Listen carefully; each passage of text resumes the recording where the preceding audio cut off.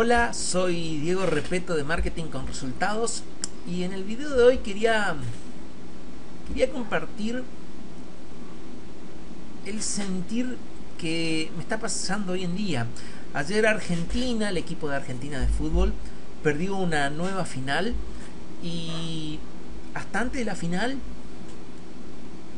había mucha gente que decía que Messi esto, Messi lo otro, qué bueno Messi, qué gol el, qué bueno el gol que le hizo de, de tiro libre a Estados Unidos, que venció el récord de Batistuta, que es el máximo goleador, y Messi era nuestra máxima héroe, nuestro máximo goleador, nuestro máximo, bueno, una nueva final con el resultado que ya sabemos, perdemos contra Chile por penales y Messi pasa a ser del máximo héroe a,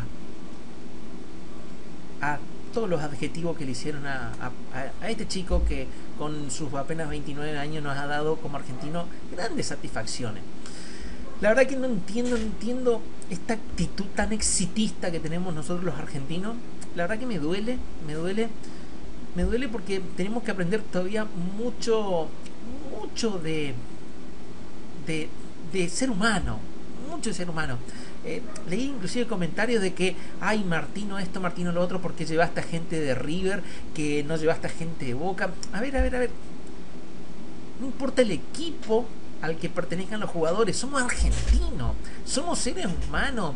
La presión que le cargamos por nuestro éxito o por nuestro fracaso. Yo estoy seguro que la mayoría que critican las redes sociales eh, a Messi o a, o, la, o a Guaín o al Kun o, o al director técnico Martino, creo que son unos fracasados. Realmente no creo que hayan llegado ni al 0,01% del que lograron estas personas. Entonces, ¿qué te da la autoridad o qué te da el derecho a criticar. ¿Qué te da el derecho? Yo no entiendo nada de fútbol, honestamente no entiendo nada de fútbol, simplemente miro la final y disfruto con mis hijos. Y, a mí me entristece ver la presión que se le agrega a estos chicos. Messi, ¿qué se le puede decir a Messi que nos ha dado alegría? Y el tipo es un exitoso. Querido amigo, si a vos criticaste, la verdad que yo estoy enojado creo que hay una gran enseñanza acá sobre la vida.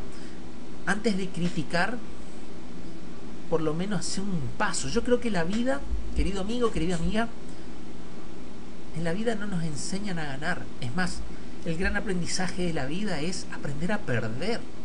Porque ganar es fácil. Cuando uno gana, todo es de maravilla, pero cuando uno pierde, ¿qué es lo que sucede? Entonces el gran aprendizaje y el gran mensaje de este video para todos los argentinos y para todo la persona que estén mirando este, mis seguidores que estén mirando este video, es la vida está hecha para aprender a perder. Y el éxito es una acumulación sucesivo de fracasos o de malos resultados. Entonces, dejémonos de joder y empecemos a valorar que este grupo de gente, que Messi puntualmente, nos ha permitido, nos ha logrado llevar a cuatro finales seguidas. Y eso es lo que hay que valorar. El resultado, el resultado para mí al menos es lo de menos. El transitar este camino es lo importante. Así que bueno, simplemente quería compartir este mensaje. Aprendamos a perder, aprendemos a ser buenos perdedores porque eso nos hace ser mejores humanos y seguramente va a haber muchas personas que no les gusta este video, pero bueno, es lo que yo quería transmitir, es mi mensaje, es este, aprendamos a valorar el camino transitado, aprendamos a perder, que eso es para mí el secreto del éxito. Te dejo un fuerte abrazo, yo soy Diego Respeto de Marketing con resultados.